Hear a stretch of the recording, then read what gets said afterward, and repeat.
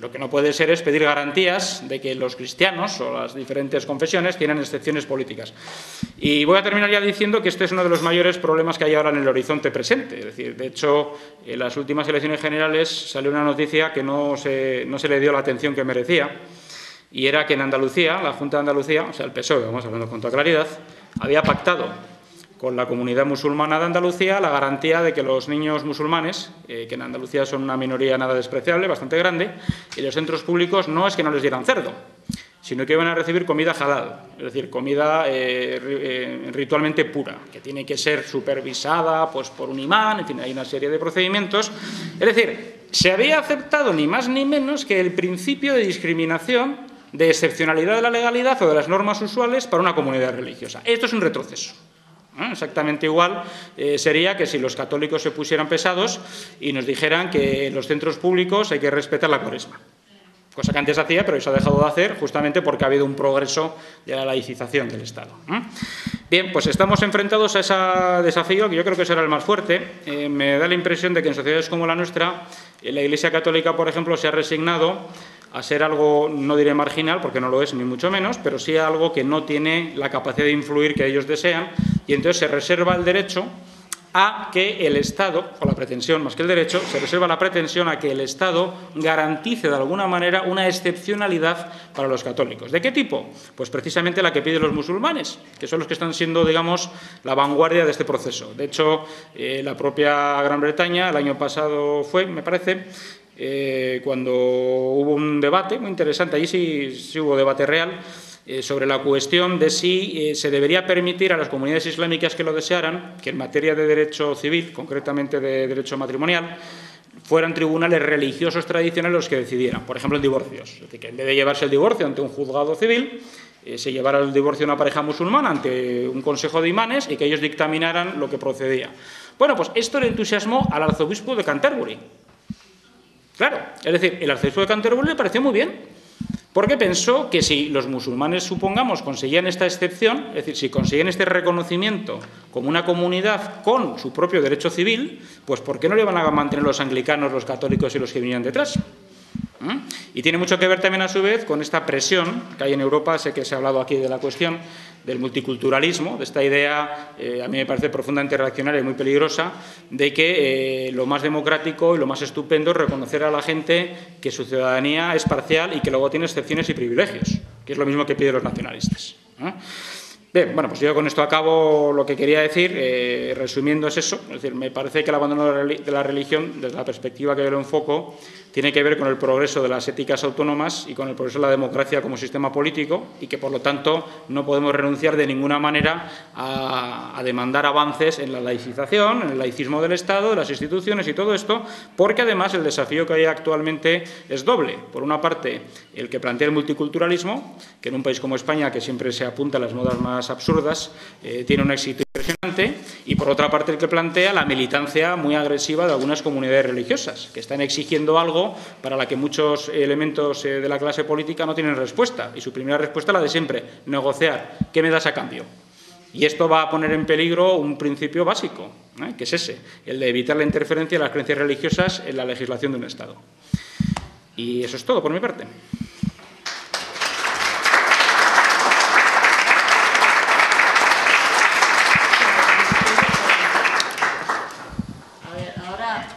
Ahora se trata de que entre vosotros pues, establezcáis un diálogo uh, y vamos a tener mucho cuidado con el tema de la traducción simultánea porque durante unos instantes se ha quedado el señor Barrack sin traducción y la primera parte no, no se habrá enterado. Vamos a tener atención con eso. Para romper un poquito este inicio de, de, diálogo, me gustaría preguntarle al señor Barra si nos puede contar, si le puede contar a la, a la, mesa redonda, cuál ha sido su experiencia como persona apóstata, como persona que ha abandonado su religión, cuáles han sido las consecuencias que eso ha tenido en su entorno usual de vida.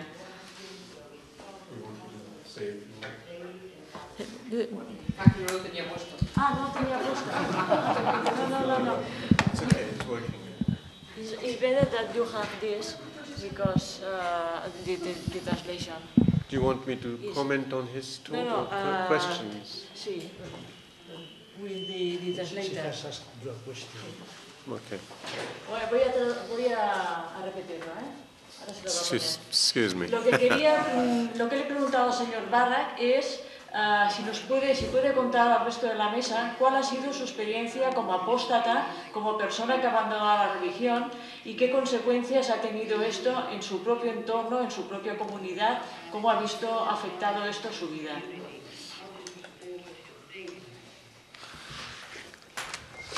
Um, it's oddly enough,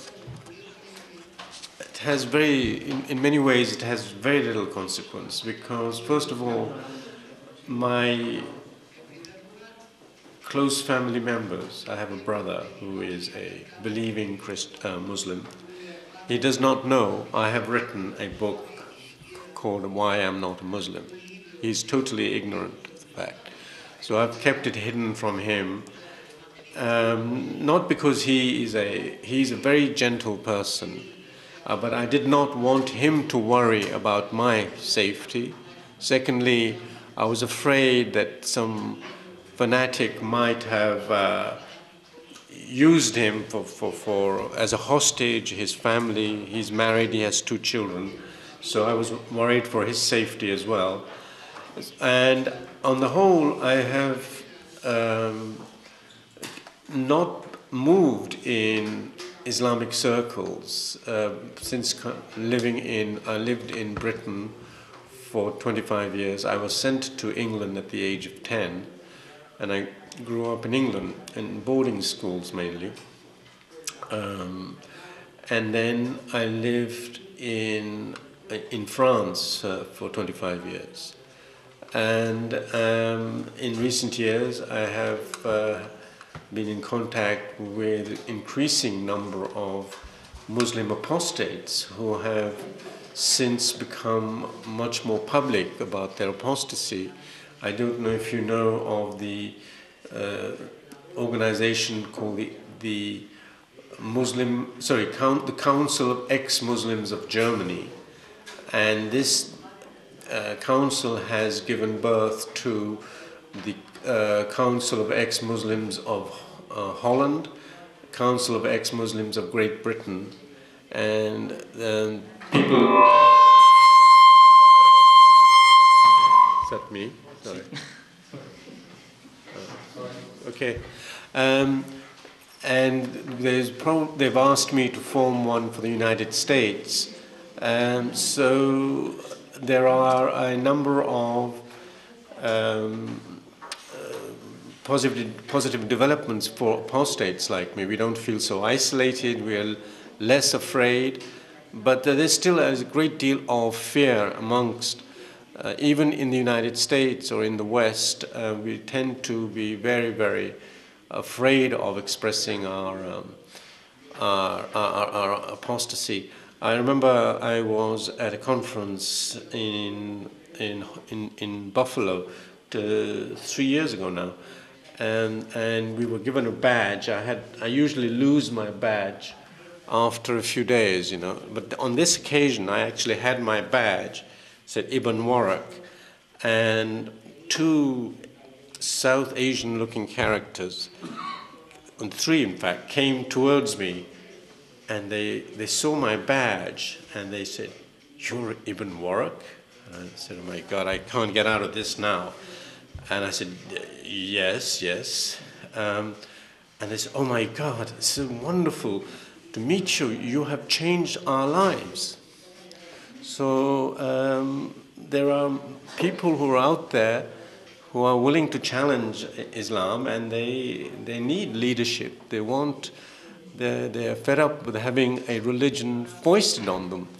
And as I said earlier this morning, they are fed up with Western media and Western intellectuals refusing to take them seriously because they have abandoned a religion, which is quite common with Western intellectuals abandoning Christianity. But they're, they're treated as being inauthentic, as uh, Foucault uh, describe the secular Iranians. Um, so, uh, apart from that, um, I still feel a bit uneasy. I now live in a part of New York where there are an incredible number of uh, people from Pakistan and Bangladesh.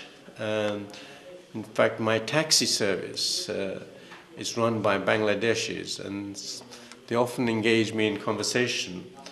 And I try to keep away from the subject of religion. So I do still feel a little bit uneasy. Um, I, he didn't, fortunately, this my taxi driver on, on Sunday when I went from my home to JFK airport, he didn't actually ask me my religion, but he kept talking about Islam from his point of view and what was happening in the United States for Muslims. So a little bit of uneasiness, but uh, um, still, I don't, I don't feel, I don't feel afraid. I speak more and more in public. Um, I've been photographed and I've been filmed ever since um, my appearance at a conference called the Secular Islam Summit that we had um, two years ago in Florida, which was filmed by Al Jazeera. I was actually interviewed by Al Jazeera television, and, and they secretly, incidentally, told me that they agreed with everything I said, but they couldn't say it themselves. And we had a very positive coverage from Al Jazeera for once. I don't trust this television network at all, but on this occasion they were very positive about us. And it made a lot of, um, it had a big impact. I was quite surprised. Um, we had a big, big, almost a full length article in the Wall Street Journal, um, for example. Um, so I, I, um, I don't feel I need protection in the way that Ayaan Hirsi Ali needs protection. Um, I have I was talking to uh, Taslima Nasreen, the Bangladeshi woman, and she said to me when she first read my book, Why I'm Not a Muslim, she said, Have you had a fatwa? I said, No. And she was very disappointed. She says, I don't understand. You've written such a great book. Why haven't you had a fatwa? So it's a Nobel Prize for us. So alas, I don't have a fatwa on me, but I am I am actually on several death lists on the internet, um, and I have been attacked in some Egyptian newspapers. Oddly enough, for my latest book, which is a fierce attack on Edward Said, um, sort of Egyptian Palestinian intellectual um, but not for any of my other books. So very odd how things go. That's a brief. Um,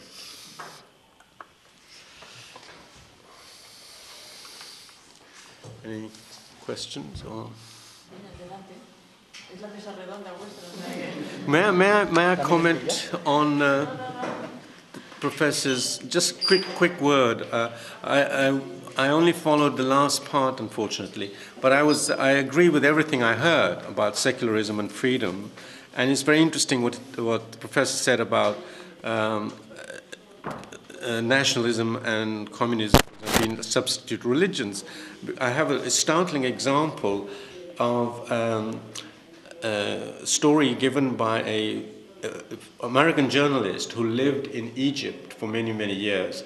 She said she remembered when she first went there over 20 years ago, she had many Egyptian intellectual friends who were staunch and strong, really doctrinaire Marxists.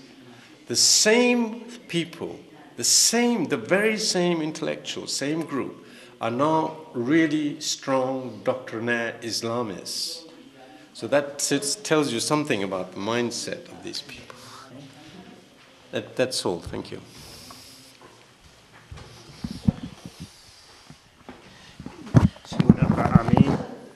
Me habían sugerido un par de cuestiones, la exposición inicial de Carlos, pero eh, una de ellas era precisamente esta que tú apuntas ahora, que yo creo que es un tema absolutamente fundamental y que conviene darle muchas vueltas. Me refiero a los desplazamientos de creencias a creencias, los fenómenos de conversión y hasta qué punto eso es un cambio y hasta qué punto es una continuación de lo mismo.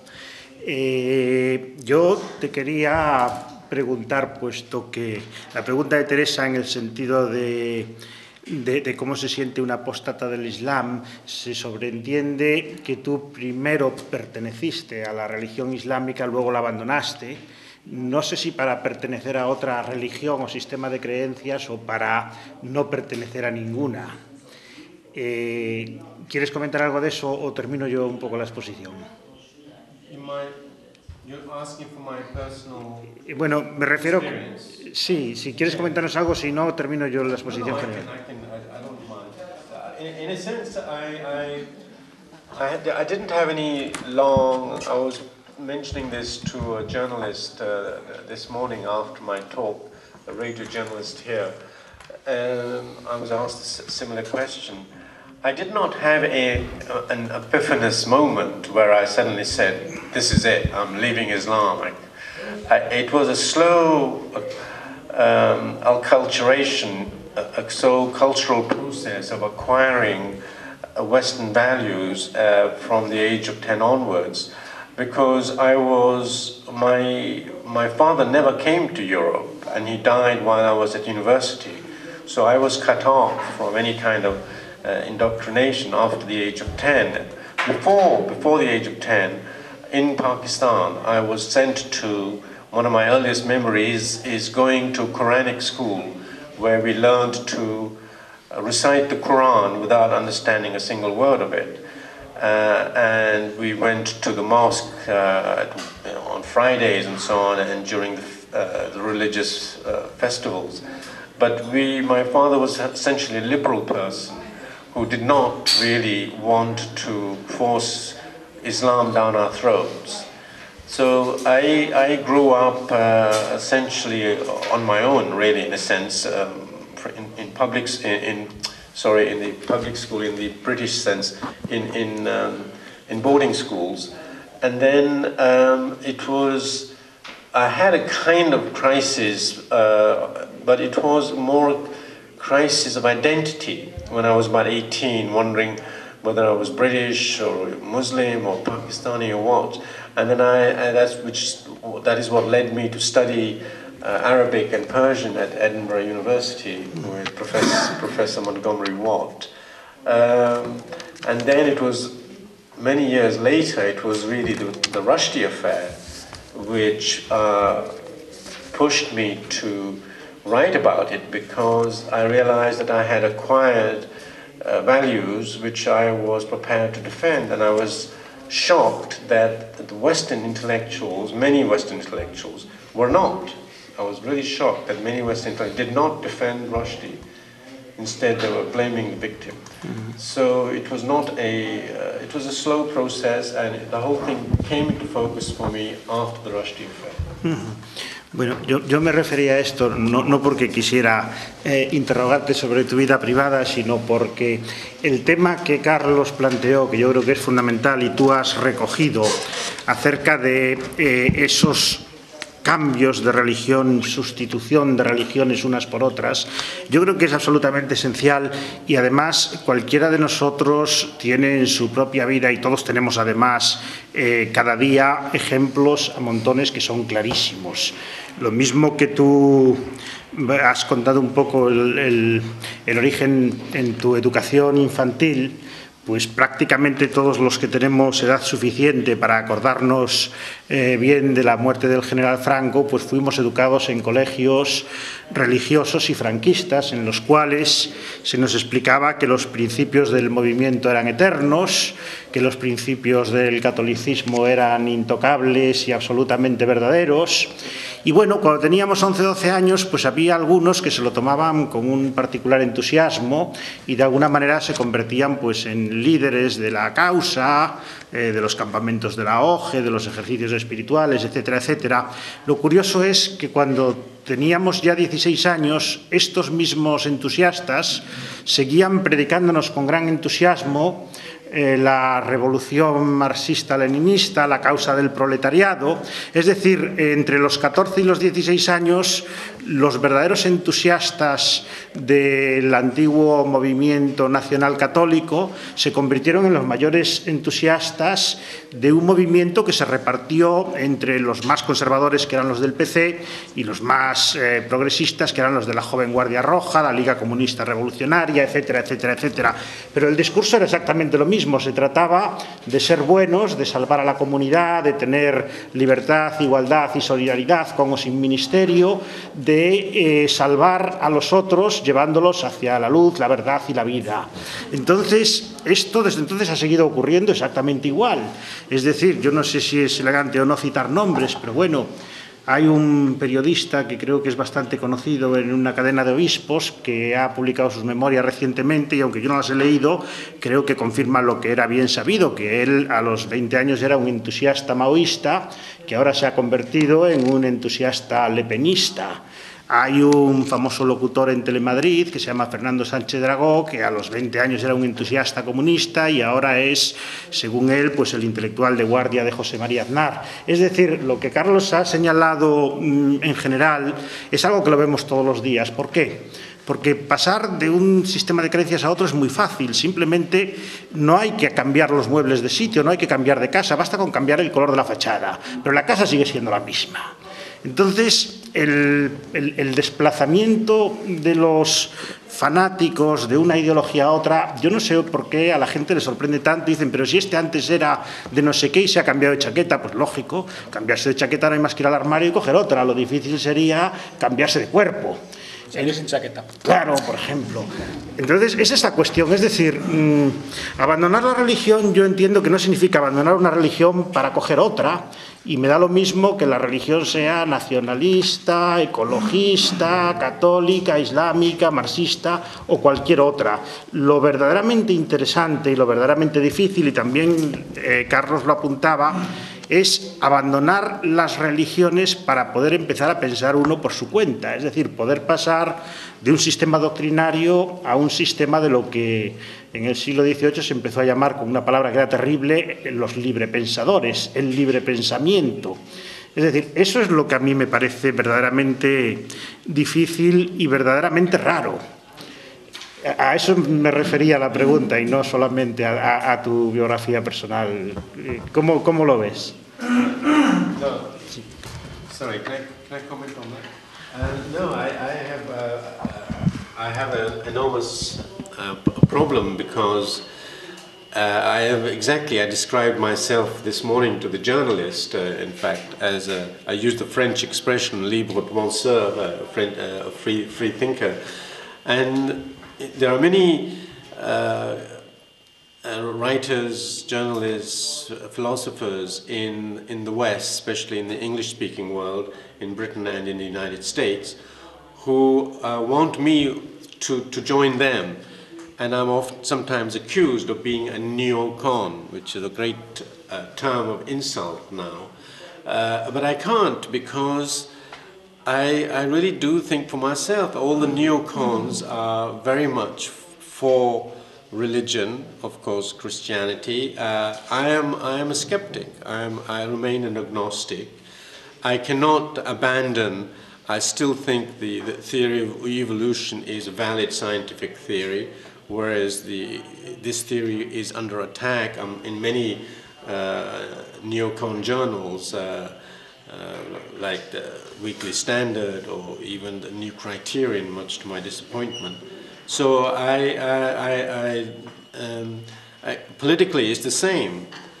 Um, I don't, uh, I cannot follow any ideology because ideo uh, ideologues are immune to reality, it seems to me. They cannot face the, the facts in front of their eyes. So um, I, am very much an old fashioned empiricist. I go where the evidence takes me. So, as a great um, uh, uh, Irish comic used to say, his name is Spike Milligan, used to say, I have changed my mind, socks, and underwear. So I have certainly changed since the 1960s when I wore uh, bell-bottom velvet trousers and so on. And, and my ideas have changed. Uh, I mean, I think everybody, uh, if they have any kind of uh, intellectual uh, honesty, will have changed since the fall of the Soviet Empire and so on. So uh, I, I, remain um, very much uh, an outsider. Many groups would like to have me on their side, and I belong a little bit in, depending on what issues. On, on, for example, the other issue which the neocons um, frighten me even is their, their hostility to, to homosexuality, which is, can take a very strong form amongst people who admire me, which embarrasses me in some ways. Um, but even the atheists uh, sometimes embarrass me because of their uh, militancy sometimes. Uh, uh I, I'm quoted by two writers who become very famous in the last three or four years, and they had a bestseller.